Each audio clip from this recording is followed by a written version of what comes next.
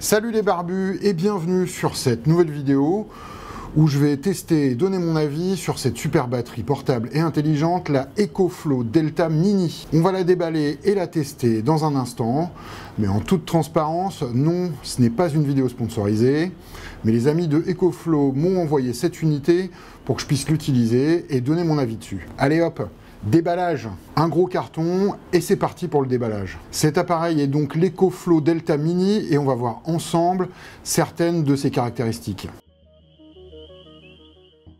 C'est donc une batterie portable de 882 Wh qui pèse un peu moins de 11 kg et qui peut se charger par trois voies différentes en standard dans une prise murale pour une recharge totale en 1,6 heures via votre chargeur de voiture en 9,5 heures ou via des panneaux solaires en 3,3 à 7,4 heures suivant la puissance de vos panneaux.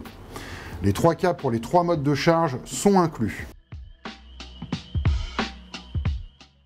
Il existe plusieurs sorties, mais on en rediscutera dans mon avis un peu plus tard. D'abord la sortie standard en 230 volts avec une puissance de 1400 watts ou en pic à 2100 watts. C'est sans doute la sortie que je vais le plus utiliser.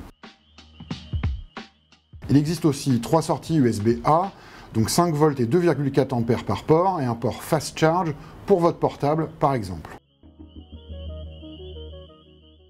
Il y a un port USB-C, 5 ampères 100 watts max.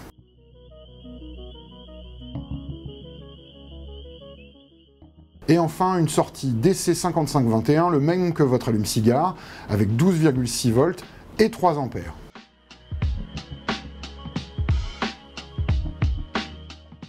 Beaucoup de sorties et une durée de vie de 800 cycles à 80% ou plus. Un écran sur l'avant nous permet de voir la charge restante, la puissance consommée et surtout le temps estimé de durée de vie de la charge avec la consommation actuelle. Il est possible de se connecter via son téléphone sur la batterie pour gérer la charge, son utilisation, voir toutes les infos sur la batterie, charge, chaleur, etc. Je ne suis pas un spécialiste, pas un électricien, et mon approche ici est très utilitaire. Qu'est-ce que cette batterie peut m'apporter?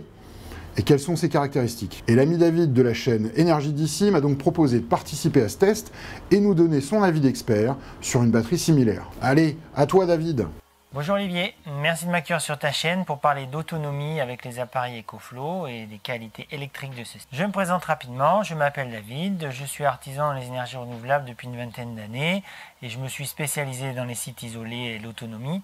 J'ai créé la chaîne Énergie d'ici pour partager à la fois mon métier et à la fois des aspects plus techniques, plus pratiques pour ceux qui s'intéressent à ces choses-là, soit pour installer eux-mêmes, soit pour pouvoir découvrir les énergies renouvelables de manière générale. La première chose que l'on va essayer de savoir quand on achète un appareil de ce genre-là, en général c'est expliqué dans la notice, mais il vaut quand même mieux le vérifier parfois, c'est la qualité de la sinus qui sort de l'appareil. L'idée c'est d'avoir un appareil qui sorte une sinus qui soit le plus proche possible de celle des réseaux euh, électriques et ce afin de ne pas perturber le fonctionnement des appareils que l'on va brancher dessus. Une fois mis en route et branché à la sonde différentielle sur l'arrière, sur les prises 240 volts, donc on peut constater que la sinus est très correcte. Effectivement, il y a un tout petit pic de, rebond euh, qui est lié au changement de sens du courant. Les appareils électroniques doivent transformer un courant continu en courant alternatif de manière électronique alors que des générateurs électriques qui sont rotatifs le font mécaniquement et le mouvement mécanique étant fluide, la sinus est fluide. Sur les appareils électroniques, quels qu'ils soient et quelle que soit la marque, forcément les imperfections naturelles des composants engendrent des imperfections sur la sinus. Mais ça n'a aucune implication sur l'utilisation que vous en aurez avec vos appareils. Donc la centrale EcoFlow sort bien une sinus mais à vide. Maintenant on va vérifier ce qui se passe lorsque l'on branche un appareil. Donc là je suis sur un petit appareil à 180 watts, mais de manière générale, à peu près tous les appareils engendreront ce genre de réaction.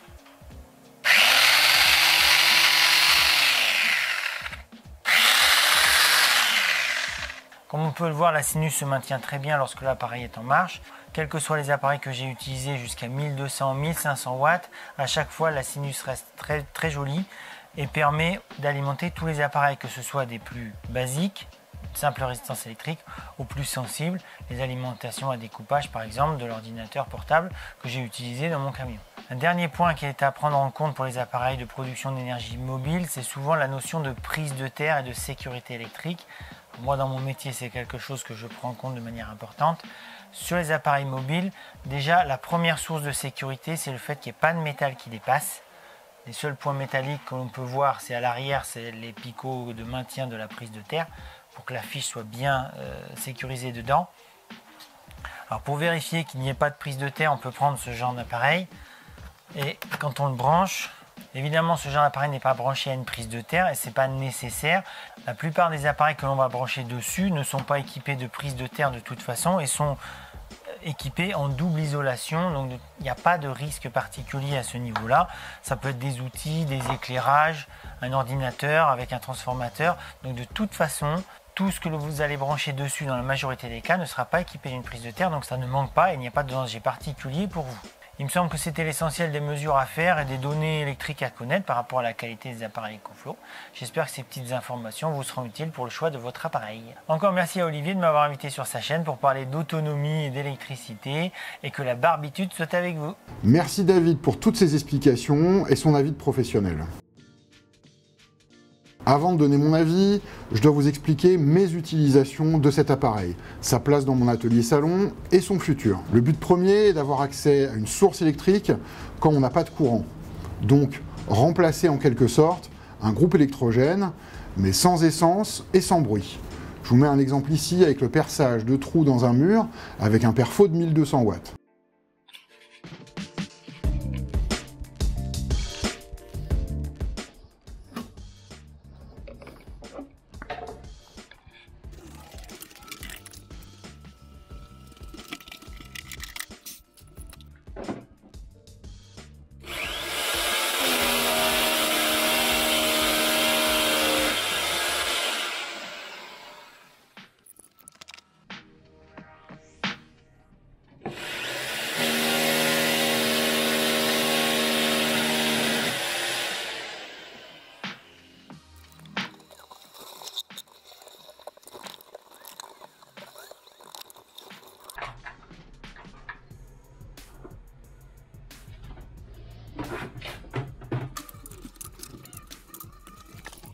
Le deuxième but est de protéger mon bureau, mais surtout mon ordinateur, qui n'est pas un ordinateur portable, puisque cette batterie sert aussi d'onduleur. En gros, si le courant est coupé, c'est lui qui va alimenter mon ordinateur, mes écrans et tous les éléments vitaux de mon bureau. La troisième utilisation est une station de recharge de tout mon matériel vidéo, les batteries pour la caméra et éventuellement l'alimentation de mes lumières. Avant de vous donner mon avis, on va parler prix. Ce modèle, donc le EcoFlow Delta Mini, est en vente au prix public de 1099 euros. D'ailleurs, un lien dans la description avec une réduction de 5% avec le code Olivier5 est dans la description. Alors oui, c'est cher, c'est un investissement, mais si vous avez besoin d'électricité en voyage, vous voulez vous lancer dans la van life ou tout ça en même temps, le prix se justifie. Maintenant qu'on a vu les caractéristiques, des points techniques avec David, mon utilisation et le prix, je vais vous donner mon avis. La première chose évidemment, c'est mon utilisation dans ma grotte. Tout d'abord, le mode, le mode onduleur marche super bien. J'ai fait quelques tests et ça me permet de faire tourner mon ordi, deux écrans et mes speakers pendant plusieurs heures. Suivant l'utilisation de l'ordinateur, le temps d'utilisation varie, mais c'est plutôt impressionnant et surtout, ça le maintient en charge en permanence. J'avais un sérieux doute sur sa capacité avec des machines qu'on utilise dans l'atelier, ponceuses, scie circulaire perceuse, des outils qui demandent parfois des pics de puissance pour le démarrage. Et à part ma grosse scie circulaire 2500 watts, l'EcoFlow gère tous mes outils sans aucun problème. Il arrive même à faire tourner mon aspirateur avec ma ponceuse excentrique connectée dessus. Donc à part les gros gros appareils bourrins, cette batterie vous permettra de transformer vos outils filaires en transportables, de les utiliser en dehors de votre atelier et donc pour certains éléments, éviter de devoir investir dans des outils sur batterie. Grosse plus-value pour moi. Je n'ai pas de panneau solaire, donc j'ai pas pu tester la charge que sur la prise électrique standard, mais la possibilité d'avoir trois modes de charge est un vrai plus surtout si vous êtes en vadrouille. En utilisant l'appli et en connectant son téléphone sur la batterie, On peut gérer la puissance de charge, la puissance utilisée et même passer en mode boost pour utiliser des outils de plus de 1400 watts. L'appli est simple, pratique, donne plein d'infos et la main sur les éléments principaux. Pour moi, c'est juste parfait. Son poids n'est pas neutre, avec un peu moins de 11 kg, 10,8 pour être précis, je ne vais pas trimballer ça dans mon sac. Mais il trouve facilement sa place dans le coffre de la voiture, quand je suis en bricolage à l'extérieur, comme par exemple la dernière fois que j'ai voulu aspirer la voiture de mes vieux sur le parking de chez moi, sans possibilité d'utiliser une prise ou même une grande rallonge ou pour mes futures productions et épisodes à venir. Son petit bémol pour moi, les poignées qui me forcent à l'utiliser à deux mains, et la surface plastique qui prend un peu vite la poussière à mon goût.